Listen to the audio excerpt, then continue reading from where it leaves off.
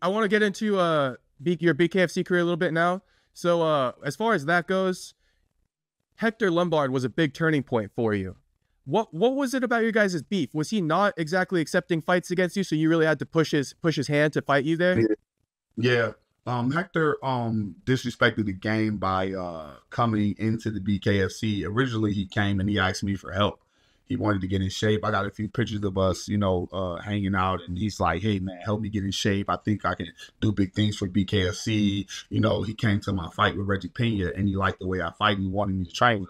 And then when he did get into the UFC, I mean, when he did get into the BKFC, he started ignoring me. He started, you know, pretending I'm not around. He started muscling the promotion in order to keep me away from um, um uh, from the Miami promotions and everything.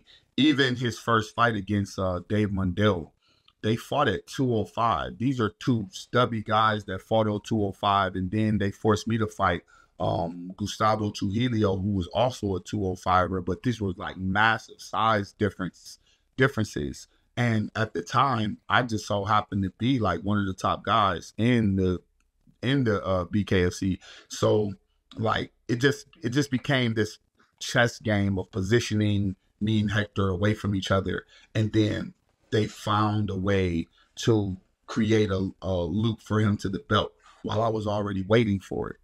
There just wasn't any belts yet. So I was 6 6 mm-hmm. I was I was so I was six and one waiting to get a to get a, a, a you got me. I got you. You got, me. You. I was You're six, six and, and one. one. Wait, yeah, waiting to get a title fight, and then all of a sudden, got... is on do not deserve it. Still do that somehow. Oh yeah, that, that's why it keeps cutting out. So you were six and one, about to get a title fight, and then what happened? Well, I had fought two title eliminators, and I was waiting. I was next in line for the title, and then all of a sudden, there were five title fights in one night and I wasn't mm. invited. Hector Lombard wanted the title, and so they went around me and they went and picked up Joe Riggs, some guy that was two and one or something from way back, and they were like, "Okay, here's the title fight," and I was like, "What?" You know, and I, I watched, you know, I had just won the weekend before that or two weeks before that against Josh Dyer in an impressive I think I knocked him down four times. I won by KO in the. It was it was awesome, and and it was just like, okay, I'm gonna come to this fight and I'm gonna watch this nonsense, and and should I just sit here and let them just you know give it to me? and then I just couldn't sit there no more. When when when he when he had that much trouble fighting Joe Riggs and he was puffing for air, and I'm I'm screaming from the sidelines like, "Watch it, Joe! He's gonna do something dirty." I didn't know Joe. I wasn't, but I, I didn't have, I was rooting for Joe because Hector was a butt. So I'm like, you know, watch it, watch it. Yeah.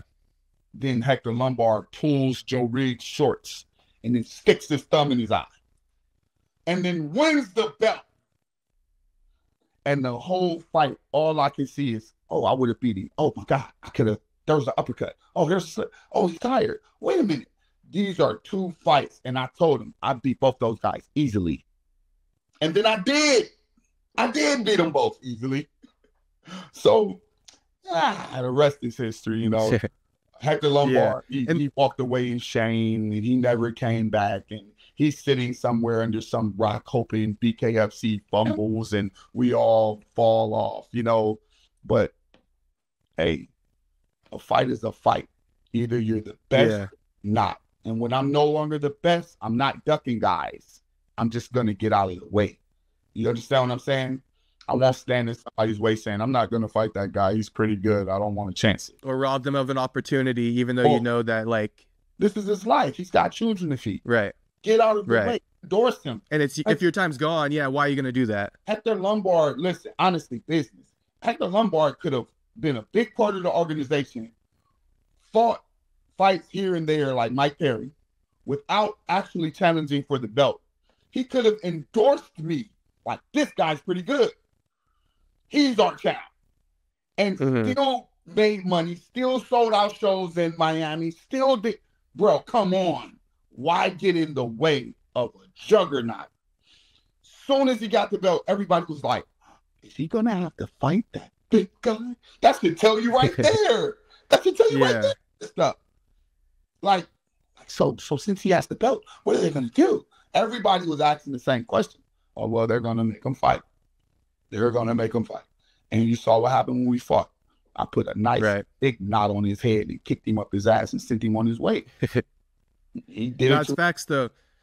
You got to support. I think that, that that whole gatekeeping thing with any type of industry, it's not good. I think the way for winning and growth for everyone is to support, you know, and to not be a gatekeeper or hold someone back, you know. You support they- them, wh- whatever you got to do, you know. there used to be a saying, "May the best man win." Yeah, I agree. That's all. I, that's all it is. I'm not looking. Or you know, best versus best, and whoever's better is better. But at least you put the best versus the best. a handout. I'm not looking for no favoritism. I'm not looking for, and I've never gotten any. All the guys that mm-hmm. I fought, everything that I've done since I've been here, nothing was a giving. There was a time where I was just, I'm just the underdog every single time, but now I'm no longer the underdog because I've kicked so many people's ass. But that's how it's supposed to be. It's not a popularity, not a popularity contest. It's literally who is the best fighter, whether you like me or not. Yeah, who can best prove themselves? if you put your brother in there, I expect you to root for your brother, but don't expect me not to kick his ass. I'm the best fighter. Yeah. You put your best friend in there. Hey, you did that. I'm the best Yeah. fighter. Can love them all you want, but I'm the best fighter. And that's what it should boil down. Right. to. We have a terrible history of of choosing and picking and playing favorites, even with the Olympics, with Mike Tyson in the Olympics, with um with um Roy Jones Jr. cheated in the Olympics. Um um all of the What happened with them? Huh? I, I don't know.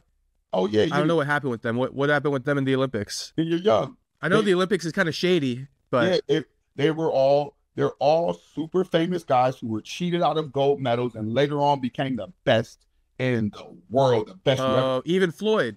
Even Floyd. So you gotta Yeah. understand that there's some point in which reality where you got to say, if your favorite guy needs your help, he's not the best guy. If he needs you to cheat for him, Uh-huh. he's not the best guy. If you're going around picking and choosing and trying to, you you already know he's not the best guy when you're doing that. You're You trying already to lost. right? But what you guys should do is team up with the best guy until you become That's the best right. guy. Stop, you know, more like Goku. you know, stop trying to be a hater Yeah, because every time some weird judge holds these guys back, they still take over the world. Mayweather is arguably the best fighter in history of boxing and was cheated in the Olympics, a fight he obviously won. And now that judge and that guy, what happened to that guy that you cheated for? Some bum drinking at the pub on the corner. What'd you do it for? What's the use? that's yeah, that's pretty wild. That's Like, pretty go wild. look at the guy you cheated for and see like Go see what he's doing. Doesn't even deserve it. Case, go look at the guy. you Yeah. cheated for. Find him now. You did not help him. Yeah. Well, you know what's cool though is uh, and this might be some free game for people. I'm sure you might have already like realized this. Um, but it's like that negative energy. You know, that's where he's saying anybody who gets snubbed or deals with some bullshit. It's a lot of energy that goes behind.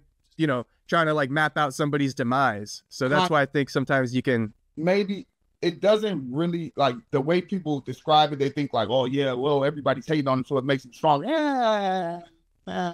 That's kind of what I'm trying to say. But what do you think? It's not really the case. I just think that, of course, that guy was already great. You were just Mm. an idol. You just didn't want to give him his props. You just wanted to, you know, every time he shoots the ball, you say, that's not going to go in. It goes in, buddy, whether or not you like it or not. So once we get out of the way, the guy will be great. I see. You see what I'm saying? He's just gonna, Regardless, it was more the person standing in the way. It wasn't him, the guy who like got robbed of an opportunity. Right. No, it's just yeah, it's just yeah, and it's gonna be great regardless. The way Mayweather beat Fair that, guy, go back and watch those fights. The way Mike Tyson beat the guy that he was cheated for is not not even close. It's like nothing. I gotta watch that. I never seen that one. yeah, and um Holyfield too. Damn. It, it happens. It just happens all the time. it just happens all the time. And um Yeah. and, and the and the thing that makes me great no one's ever cheated for me. So you take they, the hardest path, right? So when they ring the bell, whoo, you better have God with you. Because no one's ever cheated for me. And I'm be Yeah. Fair enough. Uh, so with with that uh Hector thing, what happened? Like Joe Riggs was the champ. They surpassed you to give Hector the title. Hector won the title, and that's when you came in the ring. BKFC was a new organization. It was the vacant titles. Nobody had titles. Oh, so Probably, I they fought for the first one. Alamino was probably the only person with a title at the time. So all those titles, you know, we had to establish records before anybody could even get a title, and that's what I was told. Even though I was sitting around Mm. six and one, they were like, "Oh yeah, you know, there's not enough uh, diversity to ha- pass out titles." Then when Hector Lombard came into the organization, he went two and zero, and all of a sudden these titles started appearing. Yeah, You know, when um Thiago Alves came to the to the BKFC, all of a sudden a, a, a 175 title appeared. When when um you know um um and so when we started getting more and more attention, the titles came out. They were up for grabs. So I started grabbing I see. so I started grabbing And I guess, yeah, you probably got overlooked. It's it seems like because because I was gonna ask you why do you think BKFC didn't see something in you to give you that first title fight even, but it seems like they two guys were UFC, former UFC fighters and they were trying to put like put a name, have a selling point there. Listen, the way it boils down, the way that I've looked at it into my life, you know, there's business plans. Everybody mm-hmm. has their plans, like the Joker. Remember, he said everybody's schemers. I hate schemers. You know, he's like, there's always some fucking plan. You know, there's always a Yeah. plan. That's cool. I hate that too, to be honest. But That's cool. You got your plans. I got mine. When I woke up at 4 Yeah. a.m., punched the bag until 10 o'clock. And then I took a nap and I woke up and the only thing I could think about was going back and punching that bag. And I did that for years and years and years. Well, guess what, buddy? I got plans too. Let's see yeah, no, I hear you. what happens. You know what I mean? I got plans. And your plan was what to go into the ring and and, and And- start and- something after Hector won that. Oh, and punch Hector Lombard in his head and put a knot on his head like a unicorn. that was my plan. And it, and it worked. You worked out. So it all worked yeah, out. And um, eventually, like you say, I told them when I came to the organization that I was the best, that I had unique skills, and that somebody and you you will see. And I meant it. And right now, I'm the pound for pound best bare knuckle fighter in the world. Everything I said came true because everything right. it was true. Everything I said That's right. because everything I said was true. Yeah, you haven't been lying at all, and you've been No, proving that every every step of the way. Right.